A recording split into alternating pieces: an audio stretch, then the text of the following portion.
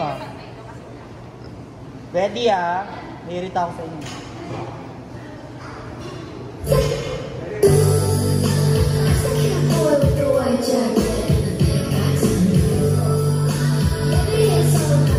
Hey.